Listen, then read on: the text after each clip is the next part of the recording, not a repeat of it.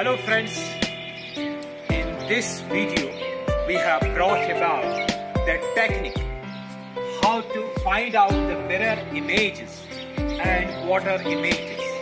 This is an essential part in the non-verbal reasoning portion of UPSC prelims. तो इसमें जब हम mirror images की बात करते हैं if we have a question कि आप इस फिगर की मिरर इमेज बोलो इनमें से कौन सी है? तो एक सिंपल सी ट्रिक आपको याद रखनी है।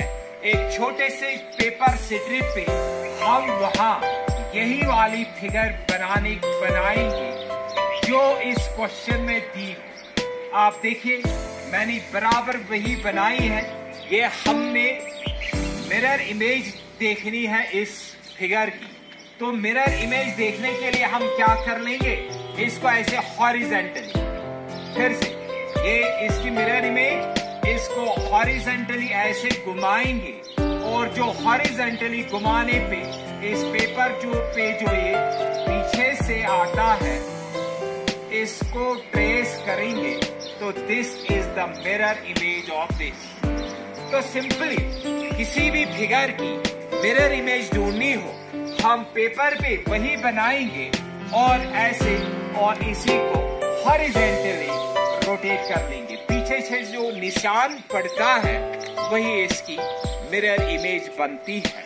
और नेक्स्ट हमारा जो है, वो है वाटर इमेज अब इसी फिगर की वाटर इमेज अगर देखनी हो तो फिर से हम एक पेपर स्ट्रिप पे यही बनाएँगे, जिसकी वाटर इमेज हमें ढूंढनी है।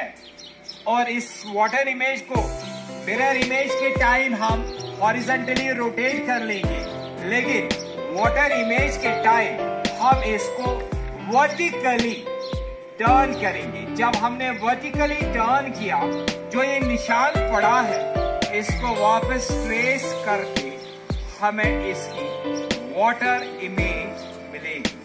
तो इस फिगर की वाटर इमेज ये है और इस फिगर की अगर हमें मिरर इमेज ढूंढनी है तो मिरर इमेज के टाइम हॉरिजेंटली और वाटर इमेज के टाइम वर्टिकली घुमाएँगे आई होप ये ट्रिक आपको काम आएगी। आने वाले वीडियो में हम आपको ब्लड रिलेशन के क्वेश्चन कैसे हम सॉल्व करेंगे विदाउट कंज्यूम